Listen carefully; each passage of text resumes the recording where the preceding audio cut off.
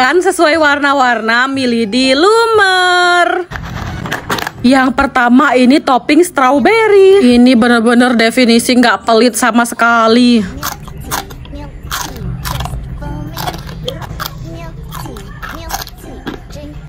Yang kedua yang toppingnya coklat, beh mantap nih, sukaanku. Coklatnya tuh bener-bener melimpah banget.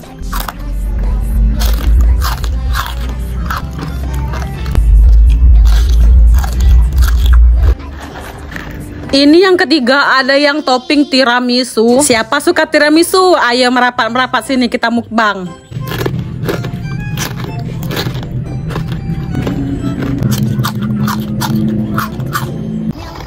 Terakhir matcha. Aku nggak suka matcha guys, jadi kita makan dikit aja ya.